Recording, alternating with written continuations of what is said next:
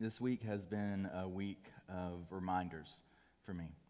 Um, I was dealing with just some personal things throughout the week. Nothing big, nothing major. They just started building up, though, and I, I thought, okay, just swallow them down and it'll be okay. Um, and then Wednesday happened. I'm not talking about Valentine's Day and spending time with my wife and children. I'm talking about hearing what happened in Parkland, Florida. And even though we've been through this before, for some reason it still shook me this time around. More than anything else, it reminded me of how weak and fragile we are. How something like that can happen, how lives can be taken, and how easy it is to happen then I was trying to remind myself and in prayer and remind myself of, of, good things as well. I started remembering people in our church that are encouragements to me through their service, through their kindness, through their compassion. You know, I thought, I'd, i thought it was, I was filled up with joy about all kinds, and then I walked out in the children's hallway just a few minutes ago to pass out the elements, and I saw Guy dressed up in Middle Eastern garb to be the Apostle Paul for these little children so they can get a better understanding of the Bible. I'm appreciative of a guy like Guy Holloway. You know how rare it is to find someone that has founded a church for over and been there as the pastor for over 30 years and then be glad to just be on the sidelines and serve in every little way he can serve and be my biggest supporter during my sermons? You don't find people like that. We are blessed as a church to have a guy in Guy. A third reminder this past week, someone put on Facebook about one of Spurgeon's favorite books of all time was John Bunyan's Pilgrim's Progress. Um, if you've never read through Pilgrim's Progress, I highly recommend it, um, especially if you can find one that is modernized English. Uh, not many of us are trained in the KJV uh, language. Um, so if you can find one that's modernized, great. But here's, here's the wonderful thing about uh, Pilgrim's Progress it's not just some fiction uh, to be read as if it doesn't apply to your life. Bunyan didn't even intend to write it when he started writing it. Um, but as a pastor and as a theologian, he ended up writing out um, this imagery that describes the Christian journey from first hearing the gospel uh, to the point of the Spirit convicting you of your need for it, and then uh, coming to faith in Christ, and then staying on the narrow way in the midst of all kinds of trials and temptations and Christian meets a couple of people, just a few people, that are also Christian, sincere believers, but he meets many that are imposters. He also meets many that would try to dissuade him from following in the Christian life and to turn away. Um, one of my favorite parts of John Bunyan's entire story is toward the end, right before he gets to the celestial city, when he's about to walk through this, this river. The, um, the believer that's right, that was next to him, had no trouble going across. But whenever a Christian goes to cross, he starts to sink. He starts to despair. And he starts to wonder, am I truly a Christian? Did I really believe? Is this, is God, has God really saved me? I'm paraphrasing in many ways. Um, and his friend is encouraging him that God is actually letting him be tested because he's one of his special saints. That he will let him be tested in this way to display God's grace in Christian, and Christian comes through by faith. Today's passage, we're um, we're reminded by Jesus that his true disciples are those that believe his word, those that God has given them life, and those that endure, just like Christian we were talking about in Bunyan's Pilgrim's Progress. So, with that, um, let's pray, and then we'll um, start looking at the word together. Lord, this is not about us. This is about you. This is the word that you have breathed into us by your Spirit. This is about your word that is over us. And this is about your life in us. So, this is your mission. We are your people, and this is your time. I pray that you would use it to encourage our hearts, at the same time, to have us examine our hearts. It is in Christ's glorious name that we pray. Amen. now, as you know, we've been going through John chapter 6. Uh, this has been a delight to me. Um, I can't think of any other word right now to use uh, to go through the bread of life discourse. now, that doesn't mean that it was easy to accept uh, for those that, um, that first heard it or those who hear it now. You see, there's, there's controversy that's been going on. Um, these people that came, they wanted to, to follow Jesus because of the things that he could give them, he gives them some hard teaching. And so let's look at, let's look at this uh, again. And thank you, Debbie, for reading it earlier. In verse 60, it says, When many of his disciples heard it, they said, This is a hard saying. Who can listen to it? But Jesus, knowing in himself that his disciples were grumbling about this, said to them, Do you take offense at this? Then what if you were to see the Son of Man ascending to where he was before? As you'll see, I have uh, three main points I want to get across um, in our passage. And uh, the first one is true disciples of Christ believe Jesus' words. Uh, I'm just going to show you my notes today. Um, this is what I have of the scriptures. I broke, it, broke this passage down into three parts. The, that, that which is yellow is true disciples of Christ believe Jesus' words. It's kind of cool when you see it like this, uh, how it all works together, bring these things out. That I'm trying to pull it forth from God's word. Um, but before I go further, I also want to give you a heads up. I'm actually going to try to be shorter than I normally am this morning. Um, some of you are worried and scared, thinking that means I'm going to go faster. Um, I'm going to still try to be, go slowly. As slow might not be slow to some, but I'm going to try to go slow for me. Uh, and I'm going to try to be straightforward this morning. Um, so uh, we have a lot going on in service this morning. I don't, I don't want to distract you just at, with extra stuff, so I'll just try to be straightforward. So, um, dealing with this, true disciples of Christ believe in Jesus' words. Uh, understand that there is a controversy going on, and that controversy is over Jesus and his words. Uh, it's not over some thought um, that might be out there or some philosophy. Um, Jesus himself is controversial. This is not um, some master that we ser- serve that is just easygoing and easy speaking. Um, he's going to say some things that are difficult things that might be hard to swallow. Uh, when you hear, hear them saying that right there, this is a hard saying, uh, one way you can understand that is using our imagery of food that we've been going through in John chapter 6. This word is hard to swallow. This one's hard to take down. Uh, and so when it says in the ESV, who can listen to it, uh, you have this idea with listen to it, it probably has the understanding of who can, who can adhere to it who can actually listen to that and let it penetrate their hearts so that they actually live according to that. Basically, they're saying, not us. That's too much. Um, the idea of human consumption would have been overwhelming to a Jew in that day to think not only that you're eating flesh and drinking blood, which blood in itself was too much for them to do, they had to cook it out of the meat they, they ate. But to think that it was a human being that, in their mind, that's, that's too much.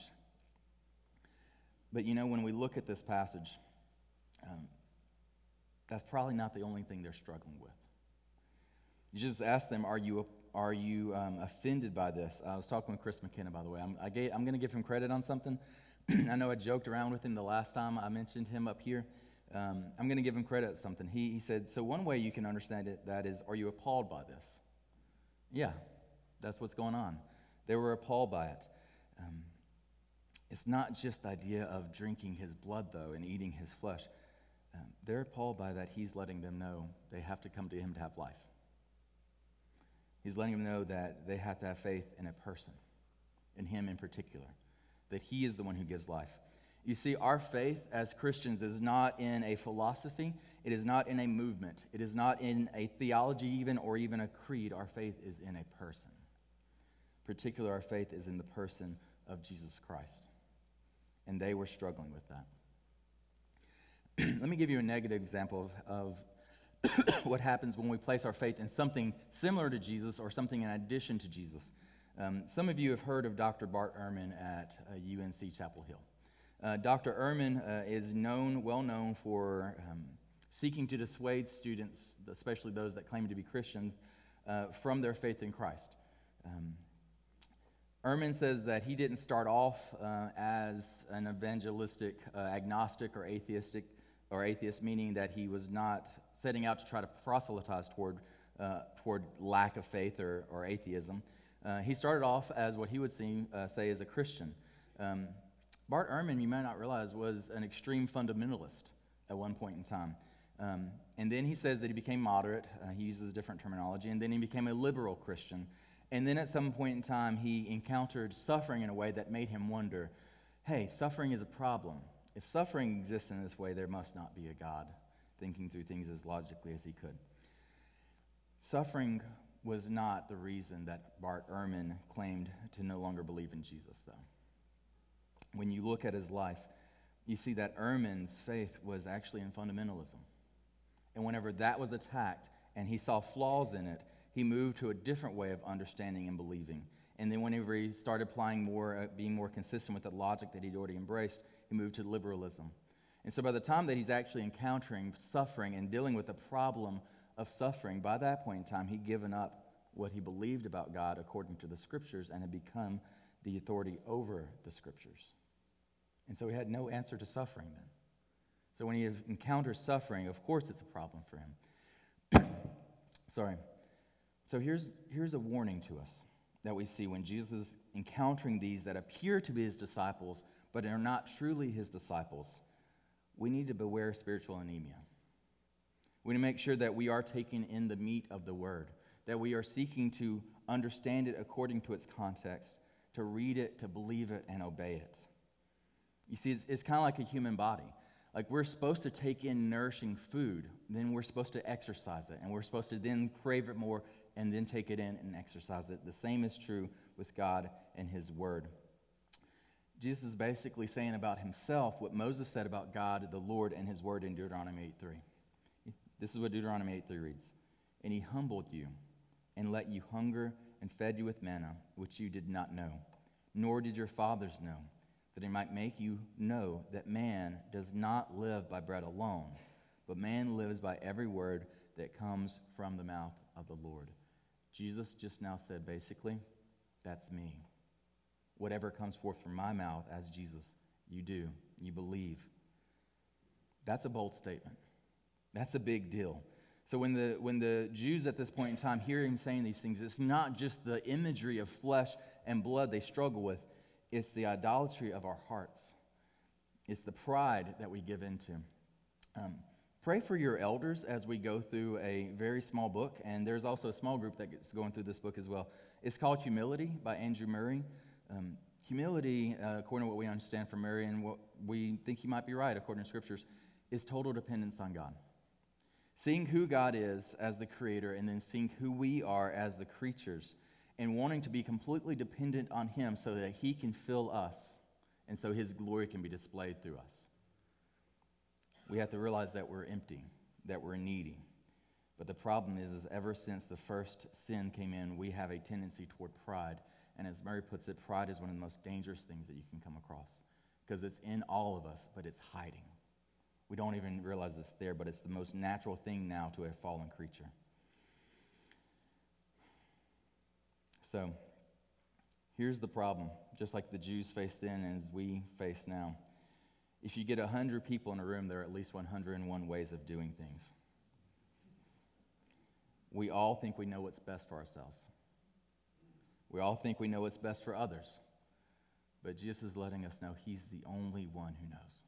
He's the only one who has all the answers, and He alone is our life and our nourishment. So, true disciples of Christ believe Jesus' words we accept them as life for us. Because as he points out also within this passage, and we will move on to our second point, um, he points out it is the Spirit who gives life. The flesh is no help at all. The words that I have spoken to you are spirit and life. You see, apart from Christ and his word spoken into us, um, which is representing the, uh, the Spirit coming into us for those of us who believe apart from the Spirit operating in us, we operate only from a worldly perspective. That's still true for those of us who are in Christ. If we are not depending on the Spirit, if we're not taking in, in the words of God, if we are not obeying Christ, then we are merely operating according to a worldly perspective. As you see what he says right after this, um, he talks about how if whenever he goes to, uh, to ascend back to where he was before, that w- how will you believe that? He's letting them know there's something that's going to happen um, that is greater than what they're seeing right now. That if it's as great as it is, they think for him to say they have to have life in him, and he's there speaking to them physically right in front of them, there's something spiritual that is greater that is going to come. So, for those of us that are in Christ, that are true disciples of his, it's because his spirit has given us new life. So, look at verses 64 through 65 with me. But there are some of you who do not believe. For Jesus knew from the beginning who those were who did not believe and who it was who would betray him. And he said, This is why I told you that no one can come to me unless it is granted him by the Father. true discipleship doesn't hinge on us. Yes, true discipleship includes faith and is mandatory, necessary for faith to be there, but even our faith is hinged on God and not on us. How does that make you feel? Does that trouble you? Does that upset you or does that encourage you? Because this is actually supposed to be an encouragement to us. It's supposed to let us know that we are part of God's family and that He has brought us into life. Um, some of you have heard um, references and imagery to being born again. Some of you might be wondering, what in the world does that mean? Um, it's something we can walk through together if that's a question that you have. Uh, you also may have heard me say many times so far through the Gospel of John that we need new life. And once again, you might be asking, what in the world does that have to do? Please find me after service. Um, find one of our leaders after service. Let's talk through that. We'd love to walk with you through that. But for those of you who understand what I'm talking about, um, new life and new birth, that imagery is consistent with God's prior work of grace in our life. That He's the one who brings us about. Um, you don't have babies deciding of their own, hey, I think I might be conceived and then born in nine months. No, there's someone else making that decision for them. There's someone else bringing them forth in life. When we look in Genesis 1 and we, we see that God formed the man out of dust, and then he breathed the breath of life in him and put his spirit into him, the man didn't decide to do that. That was God's work. So, yes, we want to acknowledge that, that with God and the, um, what he does in salvation with us in the New Testament, we see that we have to embrace it by faith. There has to be a display of faith. So, we're not we're not saying that this is somehow against man's real will. He still has real will and he has to make a decision. But it's God who's working in him prior to this. In Ezekiel 37, um, many of you know this passage where there were dry bones all around, and God brings Ezekiel to this, this uh, desert wasteland area. And he sees these dry bones, and God asks him, Can these dry bones have life? And he says, You alone, O Lord, know. And he tells him to prophesy to the dry bones. And so he prophesies to the dry bones, and then wind comes in, or, or the Spirit comes to them and brings them together. So you have these bones that are connecting to other bones with the ligaments that are forming and skin coming onto them, and then God breathing life into them, like you see with Adam in Genesis 1. And he tells Ezekiel that this is for the house of Israel, that this is for Judah. Ultimately, we see that this is for the new covenant, that God puts his spirit in us and we live. So I hope it doesn't uh, hurt your feelings too much that we have to acknowledge that we are dead apart from Christ. Ephesians 2 uh, testifies that basically we're corpses. And a corpse, just like we talked about in Ezekiel 37, can do nothing for itself. That God has to, in another way putting it, give us a new heart. I looked up some things on um, new hearts this week because I was thinking about Jesus' parable on new wine and new wineskins. Um, Jesus said that with new wine, it has to be put into a new wineskin. Because if you put it into an old wineskin, it's going to burst. Um, give me just a second. I'm trying not to mention something. You have to put new wine into new wineskins. Also, with the new patch, you don't put it on old clothes because if you do, it will tear the old clothes. New is for new. New wineskins are for, a new wine is for new wineskins. It made me think about hearts. We need new hearts. Have you ever thought about a newborn's heart? Their heart is able to do all kinds of amazing things as long as there's not some anomaly going on that's able to do all kinds of amazing things. Did you know that the resting heart rate of a newborn is anywhere from 90 to 160? I tried looking it up, and, um, and I, it said something to 190, and I thought that was really high. This is one of those times it's great to have a wife who's in pediatrics. She can let you know, no, it's actually this. Um, so, a resting heart rate for a newborn is anywhere from 90 to 160. Imagine what a heart rate, a resting heart rate of 160 would do to someone that's older with blockages. A new heart can handle such life. In the same way, those of us who are to say that we are true disciples of Christ, at some point in time, we have to acknowledge that we've been given new hearts. Because for there to be new life in us, it has to be that a new heart is there to be able to handle that new life. So if you are saying that you are a disciple of Christ, but there has never been a change in your life where God's life is the one living through you, there is a question mark over your head. Is that true? But if that is true, where you are living this new life, if you are obeying Christ's commands, not out of legalism or formality, but because His word dwells within you, you can be encouraged to know God has done a work in your life to bring you from death to life, to give you a new heart to put inside of you. As he says in verse 63, the Spirit who's the one who gives life. The flesh is of no help at all. Let's move to the third point. True disciples of Christ endure in their faith in Christ. As I mentioned, I'm trying to speed up without going too fast. Did you notice the difference between those who appeared to be disciples and those who truly were Jesus' disciples? Verse 6, um, verse 66 says, After this, many of his disciples turned back and no longer walked with him. Um, a literal translation of that right there uh, could read, They went back to the things they left behind. They went back to the things they left behind. You know, this actually comes up toward the end of John's gospel. Peter and a few different disciples uh, are hanging around and they say, Let's just go fishing. And they go fishing. Um, and Jesus says, Peter, um, do you love me more than these after he comes back in and they've unloaded the nets? Uh, one option, even though um, it's not really clear and people debate about this, but one option is do you love me more than these nets? Do you love me more than things that you used to do? Do you love me more than your old way of life that you found meaning in or thought you found meaning in? So while the last point was supposed to be an encouragement to us, this one's actually a warning to us. Are you tempted to go back to your way of life prior to knowing Jesus? Are you tempted to value the American dream of comfort and safety over walking with the church? Do you value being accepted by another individual or group more than loving obedience to Jesus? Are you being tempted to fulfill all kinds of desires that you know are contrary to God's word? Even more so, you are tempted to think that you can get away with them.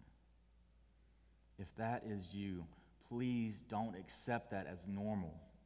You are in danger you need to speak with another Christian. You need to have them pray for you. You need to realize that this is a major event in your life. Here's the encouragement, though.